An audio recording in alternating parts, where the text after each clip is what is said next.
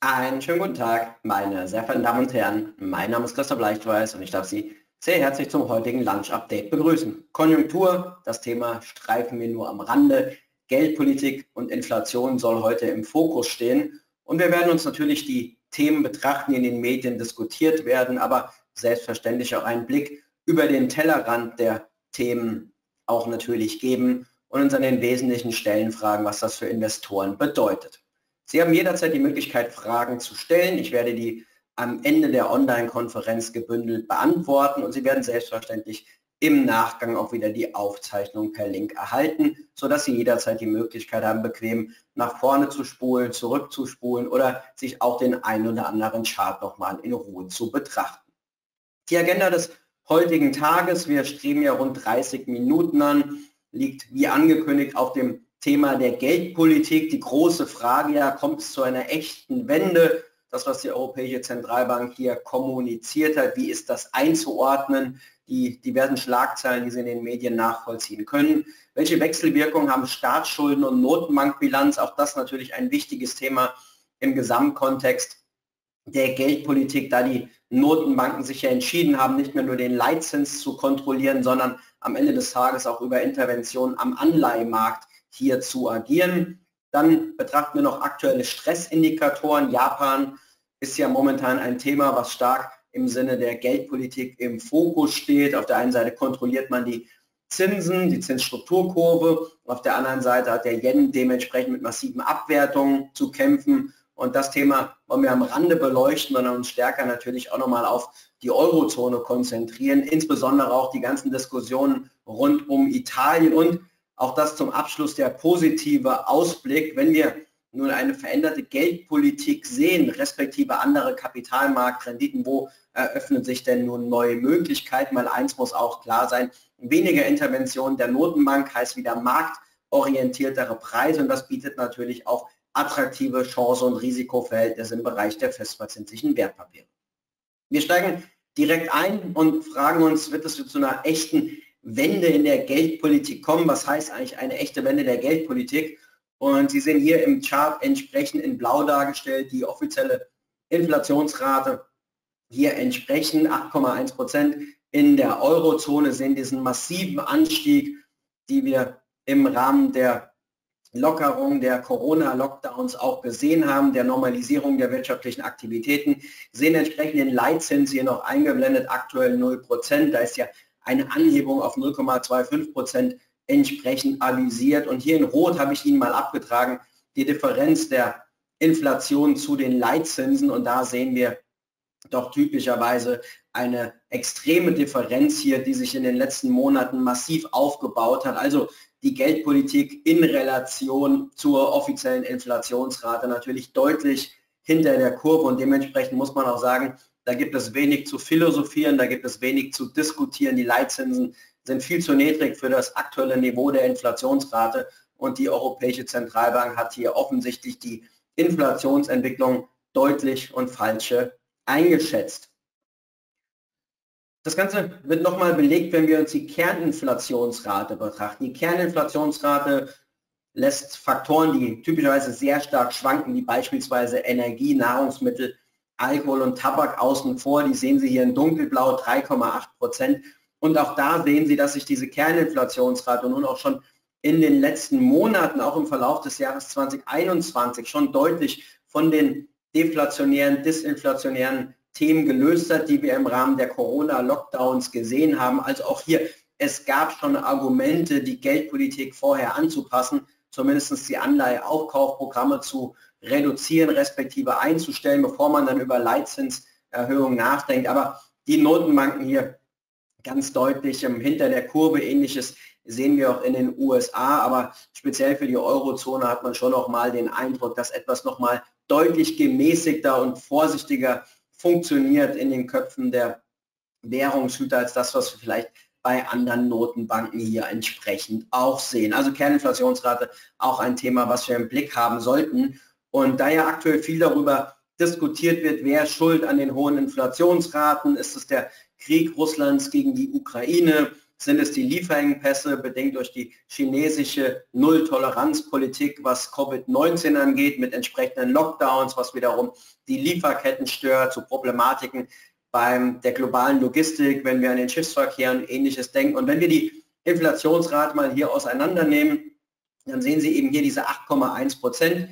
Veränderung im Vorjahresvergleich, eben die Daten, die wir gesehen haben. Dann sehen Sie hier entsprechend die Kerninflationsrate 3,8 Prozent, wie eben gezeigt. Und da sehen wir eben auch, wenn wir jetzt eben Energie außen vor lassen würden, dann wäre die Inflationsrate aktuell auch zumindest bei 4,6 Prozent. Würden wir noch beim Thema Nahrungsmittel Sachen außen vor lassen, wären wir bei 4,4 Prozent. Also das zeigt doch auch mal an dieser Stelle, dass das Thema Inflation breiter angelegt ist als nur in den beiden beschilderten Symptomen, also sprich Krieg Russlands, steigende Energiepreise und entsprechende Corona-Politik in China. Also auch hier, es scheint wohl, dass man insgesamt zu viel Stimulierung im System hat und das werden wir uns gleich genau mal anschauen. Also was auf jeden Fall fehlgeleitet ist, ist die Argumentation nur zu schauen auf Russland und China. Ja, das verstärkt natürlich die Inflationsrate deutlich, aber wie gesagt, der Blick auf die Kerninflationsrate und die Beiträge, die Sie hier entsprechend sehen,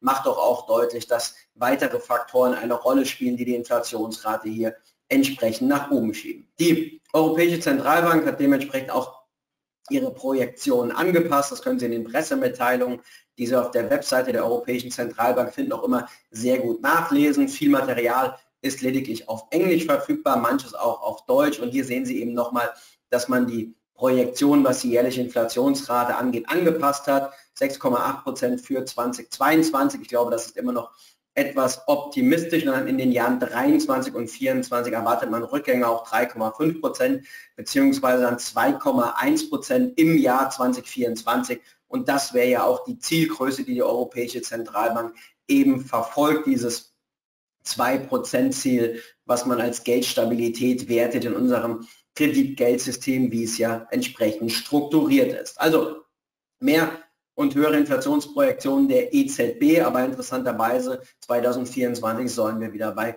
2% sein. Das muss man natürlich im Hinterkopf halten, wenn man sich die entsprechende Kommunikation und die Argumentation der Notenbanken hier anschaut. Wenn Sie erwarten, dass 2024 die Inflation wieder bei 2% steht, dann verhalten Sie sich anders, als wenn Sie erwarten, dass die Inflation beispielsweise im Jahr 2024 immer noch dort ist, wo die Kerninflationsrate heute ist, nämlich bei knapp unterhalb von 4%. Also es sind wohl noch mehr Treiber als nur die Energiepreise und nur die gestörten Lieferketten. Und ich habe Ihnen das hier nochmal mitgemacht, eben diese Wechselwirkung Notenbankbilanz und auch entsprechend hier Staatsverschuldung. Und wir müssen noch mal vorher ansetzen am Punkt. Sie erinnern sich Corona-Lockdowns. Also die Politik, die Regierungen haben sich damals entschieden, aus äh, Gründen der Prävention die Wirtschaft in einen gewünschten Stillstand zu versetzen, eine sogenannte stabile Seitenlage könnte man auch sagen. Also dieser bewusste Stillstand der Wirtschaft, man hat die Nachfrage reduziert. Das hat eigentlich die ganze Wirtschaft getroffen, Ausnahmen im Bereich der Digitalisierung und ähm, teilweise der Plattformökonomie. Aber dieser Lockdown wirkt ja natürlich tendenziell deflationär, weil er hat die Nachfrage entsprechend reduziert. Wir konnten ja alle nicht rausgehen und konsumieren. Wir konnten nicht in Urlaub fahren, wir konnten nicht ins Kino und viele andere Dinge auch. Es war natürlich klar, dass dieser Stillstand der Wirtschaft entsprechende Schäden kreieren würde. Also tendenziell steigende Arbeitslosenquoten, tendenziell nachlassen Unternehmensgewinne, Insolvenzen, alles was mit einem Stillstand der Wirtschaft zusammenhängt. Dementsprechend haben wir damals das Hand-in-Hand-Agieren von Fiskalpolitik. Der Staat hat am Ende des Tages Schulden aufgenommen, um Schäden in der Wirtschaft zu bezahlen, um die Arbeitsmärkte zu stützen. Man hat Subventionen verteilt, man hat Checks verteilt, um die Schäden hier zu dämpfen. Und die Notenbanken haben die Zinsen gesenkt, sofern es noch möglich war, aber sie haben im Wesentlichen auch über den Ankauf von Anleihen, also der Schulden, die die Staaten aufgenommen haben, um diese Programme zu finanzieren, hier agiert. Das war natürlich alles sehr angenehm, weil man hat die wirtschaftlichen Folgen zumindest in breiten Bereichen gedämpft. Die Arbeitslosenquote ist nicht so stark gestiegen, wie man es erwarten würde. Viele andere Themen wie hohe Insolvenzen sind auch ausgeblieben. Und ähm, Dementsprechend hat man auch die Geldmenge massiv ausgeweitet. Also diese Stützung der Wirtschaft und die Abmilderung der sozialen Folgen, das war sehr angenehm. Wir haben diese Corona-Geldflut gesehen. Die Geldmenge ist quasi explodiert, weil die Notenbankbilanz sich entsprechend verlängert hat. Und jetzt sehen wir hier mal eine Normalisierung der Nachfrage bei einem gleichzeitig gestörten Angebot. Das führt natürlich zu steigenden Preisen und dazu zu diesem Basisthema, was wir hier sehen, was seine Corona oder seinen Ursprung eigentlich in der Corona-Thematik auch hat, respektive in den Lockdowns, die die Staaten hier entsprechend vorangetrieben haben und den genannten Stützungsmaßnahmen. Jetzt kommen eben noch dazu der Krieg Russlands in der Ukraine, das Thema Versorgungssicherheit mit Energie, höhere Energiepreise und die chinesische Politik. Also von daher dieser Effekt der Corona-Politik, den muss man hier nochmal deutlich auch benennen. Das kommt in den Schlagzeilen der Medien, finde ich, deutlich zu kurz. Von daher sollten wir das Thema im Hinterkopf behalten, wenn wir uns die Frage stellen, wie stark und nachhaltig können denn die Notenbanken wirklich ihre Bilanzen schrumpfen, weil am Ende des Tages, was wir in den Notenbankbilanzen sehen, hier sehen Sie die Bilanz der Europäischen Zentralbank und Sie sehen im Endeffekt diesen massiven Anstieg im Rahmen der Corona-Pandemie, im Rahmen dieser Stützungsmaßnahmen. Das Ganze war ja nicht ganz neu, weil auch die EZB ja vorher schon gezwungen war, entsprechend Anleihen zu kaufen, um den Euro hier entsprechend zu stützen und auch die Spekulation gegen einzelne Euro-Länder zu reduzieren. Wobei Spekulationen sagen die einen, die anderen sagen, naja, es ist natürlich klar, dass verschiedene Bonitäten und verschiedene Leistungsfähigkeiten der einzelnen Euro-Länder auch zu unterschiedlichen Renditen führen müssen, weil schließlich reflektieren Renditen bei Anleihen ja auch das Risiko, sein Geld, sei es die Rückzahlung, sei es die Zinszahlung, entsprechend pünktlich zu bekommen. Und ähm, wir sehen es hier, spektakulärer Anstieg der Bilanzsumme dementsprechend, spiegelbildlich natürlich bei der Bilanz natürlich die Geldmenge auch gestiegen. Und wenn wir uns nun die aktuelle Bilanz der Europäischen Zentralbank betrachten, da sehen Sie hier in Rot diesen Punkt Wertpapiere im Rahmen der Ankaufsprogramme. Da sehen Sie mittlerweile ein Volumen von rund 5 Billionen Euro. Und das natürlich doch äh, eine extrem hohe Summe, wenn sich die anderen Aktiva auch betrachten. Gold und Goldaußenstände 600 Milliarden, Forderungen in Fremdwährungen 530 Milliarden. Ähm, also das ist wirklich der ganz, ganz große Punkt. 5 Billionen Euro, die wir hier sehen. Das sind ja spiegelbildlich Schulden, die man letztendlich erworben hat und bei denen die EZB als Nachfrager ohne marktwirtschaftliche Interessen zu quasi jedem Preis gekauft hat, damit die Marktpreise, die Renditen verzerrt hat und letztendlich auch Chance-Risikoprofile aus Sicht von Investoren konstruiert hat, die weit ab der Realität waren und dementsprechend nun der große Punkt, kann man diese Bilanz wirklich schrumpfen in einem Umfeld, wo die Renditen ohnehin schon steigen. Und von daher, ähm, wie gesagt, das glaube ich die große Herausforderung und es wird sehr spannend zu sein, wie die Europäische Zentralbank mit diesem Zielkonflikt hier entsprechend umgeht. Aber wie gesagt, die schiere Dimension ist schon exorbitant, 5 Billionen Euro. Das ist viel Kapital und ähm, von daher dieser Markteinfluss natürlich nicht zu unterschätzen. Und wie gesagt, das hat natürlich auch entsprechend dazu geführt, dass die Geldmenge massiv äh, ausgeweitet wurde. Jetzt kann man sagen, da ist noch Luft nach oben. Sie sehen es hier in Rot Japan, dass die Bilanz in Relation zur Wirtschaftsleistung, da sehen wir hier oben, wo Japan steht, lange Zeit keine Auswirkung auf den japanischen Yen. Er war lange Zeit immer noch ein Fluchthafen, ein sogenannter Safe Haven. Das hat sich mittlerweile relativiert. Der Yen mit deutlichen Abwertungen entsprechend hier behaftet. Dann sehen Sie mal hier die Relation der Eurozone. Also da wäre eigentlich noch eine gewisse Luft und sehen ja unten in den USA da die Relation deutlich gesünder, obwohl sie natürlich auch deutlich angestiegen ist im Rahmen der massiven Stützung der Wirtschaft, die wir ja ähnlich in der Eurozone, auch in den USA hier entsprechend vermerkt haben. Also das Zwischenfazit, glaube ich, für die Geldpolitik ist ganz klar, diese Vollkasko-Mentalität, die ist oft gewünscht, aber die hat auch Nebenwirkungen. Der Preis der Stabilität, der sozialen Ruhe in den Corona-Lockdowns, der zeigt sich eben nun hier entsprechend. Das ganze Thema am Beispiel Corona festgemacht, aber wir hatten ja auch schon häufiger Interventionen der Notenbank in marktwirtschaftliche Prozesse. Denken Sie an Mario Draghi, whatever it takes, damals im Rahmen der Staatsschuldenkrise, als wir Renditen von 7% und mehr für beispielsweise Italien und Spanien gesehen haben. Und ich denke, wir müssen uns klar machen, die Notenbank ist mit diversen Zielkonflikten konfrontiert. Das wird auch so bleiben, weil wir haben viele Themen. Wir haben Klimapolitik, wir haben das Thema Verteidigung, wir haben das Thema Sozialstaat. Denken Sie an das Thema, die Babyboomer-Generation geht bald in Ruhestand. Dann werden aus abstrakten Zahlungsversprechen, die Sie in Ihrer Renteninformation haben, harte Zahlungsverpflichtungen in dem Moment, wo der Rentenbescheid kommt. Und auch diese Staatsverschuldung muss finanziert werden. Und von daher, Sie sehen es hier schon am Punkt 3, die Fantasie, dass die Realzinsen, also Zinsen abzüglich der offiziellen Inflationsrate wirklich positiv werden. Ich glaube, das ist nahezu ausgeschlossen in dem Umfeld, in dem wir uns bewegen. Da wäre vorher eine Währungsreform respektive viel wichtiger ein Schuldenerlassen notwendig, weil nur wenn Sie die Schulden deutlich reduzieren, können Sie auf die verbleibenden Schulden höhere Zinsen zahlen. Aber auch da ist noch vielleicht noch ein weiter Weg hin. Von daher glauben wir auch, es ist ein gewisser Deckel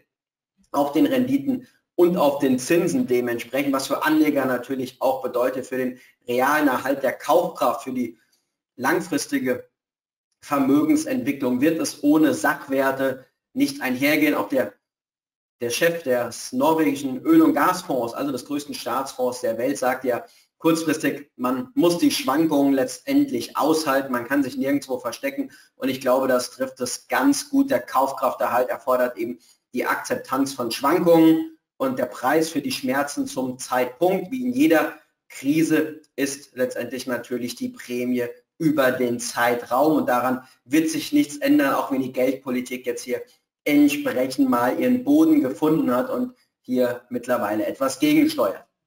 Welche Stressindikatoren sollten Anleger in ihre Betrachtung aufnehmen? Also wir sind noch nicht an dem Punkt, den wir in der Euro-Krise hatten oder teilweise auch in der Corona-Krise, dass Anleger sich Gedanken über ihre Konten gemacht haben, über die Solidität von etablierten Banken. Das haben wir noch nicht. Also man schaut aber natürlich stark hier momentan auf Italien und ich habe Ihnen hier mal die Risikoaufschläge, also Differenz von italienischen Staatsanleihen zehnjähriger Laufzeit zu deutschen Papieren dargestellt und da sehen Sie entsprechend diesen Anstieg. Sie können ja auch immer in den Medien mal wieder verfolgen, ob und wie die EZB auf diese Zinsdifferenzen im Euroraum reagieren könnte. Also würde man vielleicht zukünftig eher mal deutsche Staatsanleihen auslaufen lassen auf der Bilanz, würde dann beispielsweise neue italienische Papiere erwerben. Also da werden wir weiterhin auch noch Eingriffe in das System sehen. Aber ich glaube, im Big Picture werden wir tendenziell marktnähere Preise, also auch marktnähere Renditen sehen, als das, wir in der, als das, was wir in der jüngsten Vergangenheit mitgemacht haben. Und das natürlich auch durchaus positiv, weil höhere Renditen haben eine gewisse disziplinierende Wirkung für die Staatshaushalte, auch wenn sich da mancher dann auch immer persönlich angegriffen fühlt in einzelnen Ländern. Und ähm, ich glaube grundsätzlich, dass gesund, aber ganz marktwirtschaftlich wird es nicht werden aufgrund der geschilderten Probleme. Wir sehen auch hier die Situation anders als im Rahmen der Euro-Staatsschuldenkrise, ähm, weil natürlich hier Spanien und Italien beispielsweise nicht mehr über einen Kamm geschert werden. Damals gab es ja die sogenannten Peaks-Staaten, also Port äh, Portugal, Italien, Irland, Griechenland und Spanien. Und worüber noch zu wenig gesprochen wird aus unserer Sicht, ähm, Sie sehen häufig den Chart, den ich Ihnen eben auch präsentiert habe, also Risikoaufschläge Italien versus deutsche Staatsanleihen. Aber was ich Ihnen hier mal mitgebracht habe, das ist mal ein bonitätsmäßiger Vergleich, weil wir müssen uns ja klar machen, Deutschland verfügt über ein Top-Rating. Also das, was man sich erwarten würde von einer soliden Staatsanleihe, was bedingt ist durch die Leistungsfähigkeit des deutschen Staates, des deutschen Steuersystems und alles, was hinten dran hängt. Jetzt ist aber Italien von der Bonität nicht wie Deutschland, sondern wir sind zwar im gleichen Währungsraum, aber die Bonität ist unterschiedlich. Konkret, Italien verfügt über ein dreifach B-Rating, also etwas schwächer als das deutsche Rating. Und wenn wir das nun vergleichen dann habe ich Ihnen hier mitgebracht die Rendite zehnjähriger italienischer Staatsanleihen in Orange. Und wir sehen den Unternehmensanleihenindex, also nicht Staatsanleihen, sondern Unternehmensanleihen im Euro mit dreifach B-Rating. Und wenn Sie sich das mal anschauen, dann stellen Sie eben fest, dass insbesondere auch der jüngste Renditeanstieg, den wir sehen, nicht darauf begrenzt ist, dass die Staatsanleihen isoliert gestiegen sind, sondern insgesamt auch die Renditen vergleichbarer Bonität, also dreifach B, sind ähnlich stark mit angestiegen. Und das muss man ja auch immer mal wieder ganz klar sagen, wenn wir etwas vergleichen im Bereich der festverzinslichen Wertpapiere, dann müssen wir natürlich auch die gleichen Bonitäten vergleichen. Sie vergleichen ja auch kein Cabrio mit einem mit einem äh, mit einem mit einem SUV. Und genauso muss es hier auch sein. Deswegen ähm, auch hier würde man sich wünschen, dass die Europäische Zentralbank das deutlicher kommuniziert. Es ist eben nicht nur so, dass man momentan sagt, oh mein Gott, Italien, die Renditen steigen, die Risikoaufschläge steigen. Nein, man muss sagen, insgesamt am Rentenmarkt und vergleichbar mit anderen Bonitäten ist die Renditesteigerung, die wir momentan für italienische Staatsanleihen sehen, unter anderem auch damit zu erklären, dass allgemein schwächere Bonitäten einen größeren Kursverfall und dementsprechend einen stärkeren Renditeanstieg zeigen als das, was wir eben bei sehr guten Bonitäten haben, wie beispielsweise eben der deutschen Staatsanleihe. Welchen Indikator wir laufend betrachten und der aus meiner Perspektive auch viel zu wenig von der Europäischen Zentralbank thematisiert wird, das ist ein Indikator, der versucht, den systemischen Stress im Finanzsystem zu messen. Da gehen sehr viele sinnvolle Indikatoren ein und auch da sehen Sie eben, dass der finanzielle Stress hier im System steigt. Wir glauben nicht, dass wir in einem Szenario sind, wie wir das im Rahmen von Lehman Brothers gesehen haben aktuell, aber das muss man ganz klar sagen, es ist entsprechend aufwärts gerichtet und bei diesem Zielkonflikt, den die Europäische Zentralbank hat, in der Geldpolitik gegenzusteuern, aber gleichzeitig andere Ziele mit zu berücksichtigen, da sollte man diesen Indikator mit im Blick haben und wenn er weiter steigt, wird es sehr interessant sein zu sehen, wie die Europäische Zentralbank ihre Kommunikationspolitik anpasst, weil eins ist auch klar, dieser Indikator wird von der Europäischen Zentralbank selbst berechnet und es wäre ja schizophren, wenn Sie als Zentralbank den Indikator für Stress, den Sie selbst berechnen, nicht nutzen. Also nur weil er nicht in der Pressemitteilung auftaucht, bedeutet das meines Erachtens nicht, dass er keine Bedeutung erfährt bei der Europäischen Zentralbank. Deswegen auch ein guter Indikator für die vorauslaufende Kommunikation der Europäischen Zentralbank, glaube ich, hier an dieser Stelle zu berücksichtigen. Also, das die wesentlichen Themen und wo ergeben sich nun Möglichkeiten und das muss man auch sehen. Wir haben starke Verluste gesehen im Bereich festverzinslicher Wertpapiere, wobei man auch sagen muss, Verluste ist immer relativ, weil solange Sie ein breites Portfolio haben ohne Insolvenzen, dann bekommen Sie ja immer die Portfoliorendite gezahlt, die Sie auch beim Einkauf hatten. Also von daher sind ja Verluste bei Anleihen etwas anders zu werten als bei Aktien oder Immobilien, weil Sie eben bei einer Anleihe feste Laufzeiten mit festen Fälligkeiten haben. Und wenn Sie eben keine hohen Ausfälle haben, sondern Ihre Anleihe so zurückgezahlt wird, dann wissen Sie eben die Rendite. Von daher auch teilweise, was hier in der Presse kommuniziert wird mit Kursverlusten und, spekulat und, und spektakulär, da muss man sagen, naja, am Ende des Tages wussten wir alle, dass die Renditen sehr niedrig sind. Man wusste, dass die Indizes im Anleihebereich verzerrt sind. Und wem diese Indizes in Sachen Bonität und Restlaufzeit nicht mehr angemessen erschienen, der konnte sich ja aktiver positionieren mit kürzeren Laufzeiten oder weiteren Anpassungen. Also von daher da ist manchmal die Schlagzeilenlage nicht ganz so objektiv, wie man sich das wünschen würde. Was wir aber de facto sehen, und Sie wissen, das war immer unsere Meinung, Sie sehen hier beispielsweise Hochzinsanleihen, also Unternehmen ohne Investment Grade Rating, da gab es dann vor einem Jahr 2,4 Prozent, also eine vollkommene Verzerrung von Rendite zu Risiko. Und da sehen Sie jetzt, da haben sich die Renditen hier ungefähr verdreifacht. Also sprich, hier sehen wir jetzt deutlich interessantere Profile. Das gleiche gilt aber auch in anderen Segmenten. Hier beispielsweise Nachranganleihen von Banken bei 0,7 Prozent absolut lächerliche Werte, vollkommen verzerrt durch die Aktivitäten der Notenbank. Jetzt sehen Sie hier einen Wert Richtung 4,7 Prozent. Unternehmensanleihen guter Bonität von 0,4 Prozent zu 3,25 Prozent. Und ähm, dementsprechend, das ist, was ich äh, an dieser Stelle auch sagen möchte, durch die geringeren Aktivitäten der Notenbank, durch die Kommunikation, durch das, was der Markt bereits vorweggenommen hat, sehen wir momentan im Bereich der Anleihen das erste Mal wieder vernünftige Einstiegspreise, vernünftige Rendite-Risikoprofile über viele Jahre hinweg. Und da viele Anleger, Pensionskassen, Versicherungen, Versorgungswerke, aber auch viele Anleger, die in ihrem defensiven Teil des Portfolios Renditen anstreben, bei denen sie realistisch nicht die hohen Inflationsraten schlagen, aber doch eben mehr als das Verwahrentgelt, was bald Geschichte sein wird oder auch als die Nullverzinsung anstreben. Für diese große Anlegergruppe wird es jetzt besser. Die leiden zwar jetzt temporär unter den gefallenen Kursen, hat man sich etwas defensiver positioniert oder ohnehin noch viel Cash vorgehalten, weil der Anleihenmarkt zu verzerrt war. Da bieten sich jetzt natürlich neue Möglichkeiten. Unsere Perspektive darauf, klar, sie werden mit Anleihen den Kaufkrafterhalt realistisch wahrscheinlich nicht schaffen, außer sind so optimistisch, was die Inflation angeht, wie die Europäische Zentralbank. Aber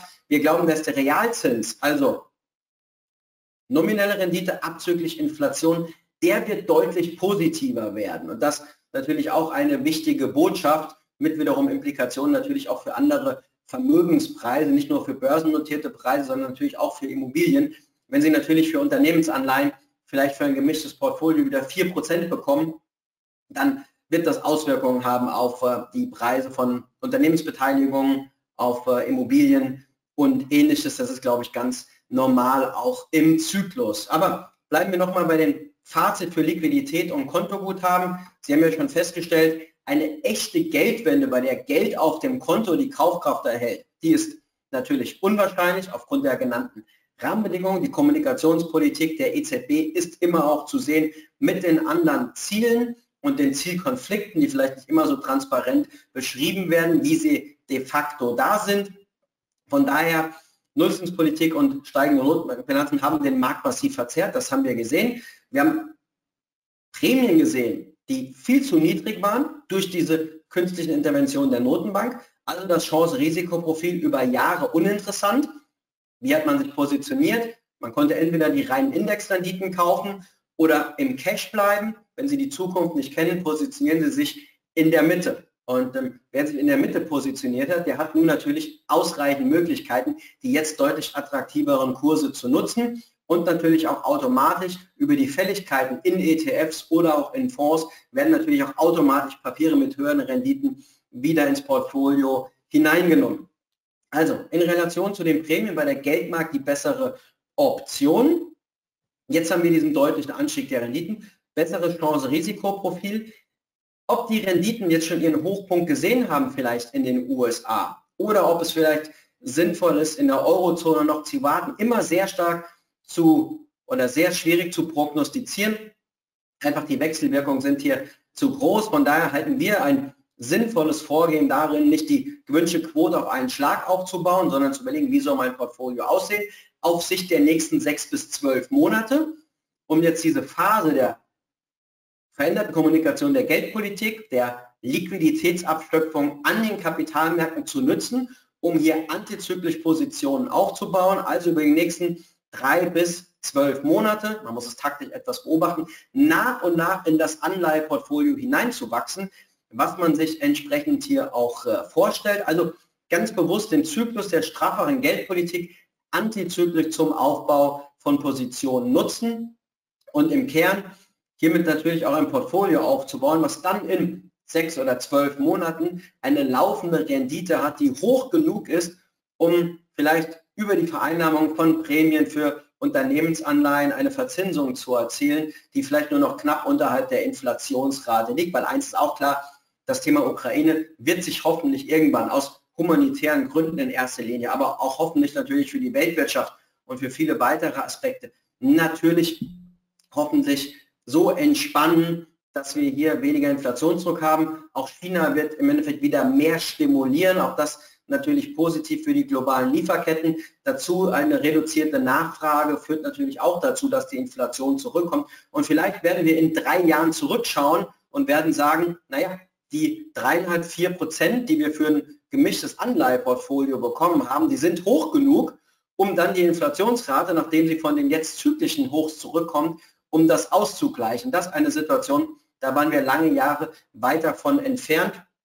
Aber auch hier gilt, natürlich, die Anleihequote ist immer im Wechselspiel mit der Aktienkomposition zu betrachten. Wenn Sie im Anleiheportfolio mehr Unternehmens- und mehr Konjunkturrisiko nehmen, dann macht es vielleicht Sinn, in der Aktienquote etwas weniger Konjunktur- und Aktienmarktähnliches Risiko zu nehmen. Also beispielsweise etwas mehr Risiko auf der Anleihenseite, mit etwas weniger Risiko auf der Aktienseite. Damit halten Sie Ihr gesamtes Chance-Risikoprofil immer noch konstant, nutzen aber andere Prämien, eben etwas weniger Aktienmarktabhängigkeit und mehr kontrollierbare Prämien im Bereich der Unternehmensanleihen, wo wir eben durch diesen charmanten Effekt der fixen Fälligkeit natürlich eine etwas höhere Planbarkeit haben als am Aktienmarkt.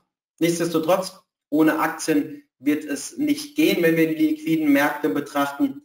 Und von daher glaube ich, dass das wesentliche Thema. So, meine Damen und Herren, das soll es auch an dieser Stelle von den Ausführungen gewesen sein. Ich würde nun an dieser Stelle die Online-Konferenz beenden und würde nun schrittweise auf Ihre Fragen eingehen, die Sie gerne jederzeit über die Funktion im Chat stellen können. Ich werde diese dann vorlesen und beantworten. Alle, die uns bereits verlassen, bei Ihnen darf ich mich für die Aufmerksamkeit bedanken. Ich wünsche Ihnen einen schönen Mittag, bleiben Sie gesund, bis bald. Auf Wiedersehen.